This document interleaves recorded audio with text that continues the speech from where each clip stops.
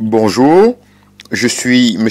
Alain Love René, concepteur développeur informatique, développeur logiciel, ancien étudiant de la faculté de droit et de sciences économiques de l'Université d'Orléans, dans le Loiret, en France.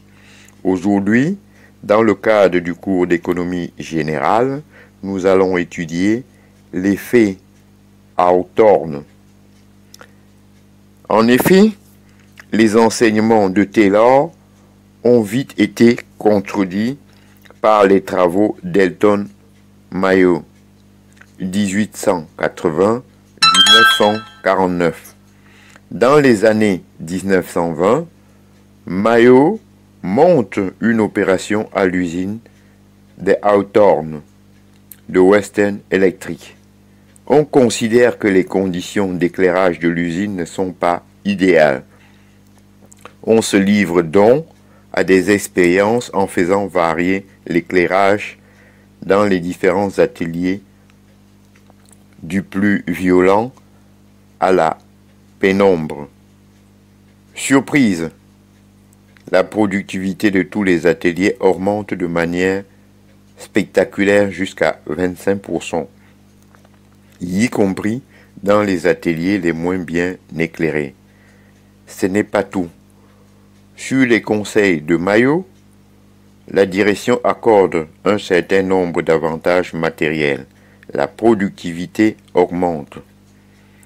Puis, ces avantages sont retirés.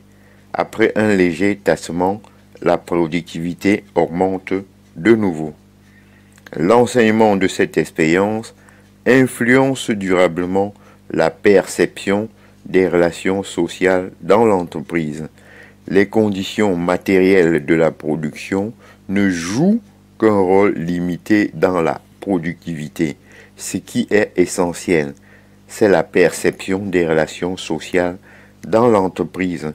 Le simple fait que la direction s'intéresse aux conditions de travail suffit à faire augmenter la productivité.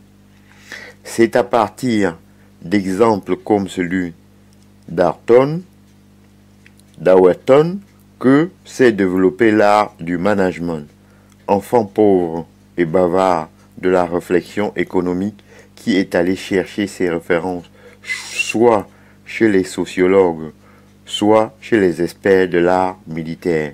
Mais si Napoléon est clair lorsqu'il parle de main de fer dans un gant de velours, il est moins quand il écrit L'art de la guerre est de disposer ses troupes de manière qu'elles soient partout à la fois.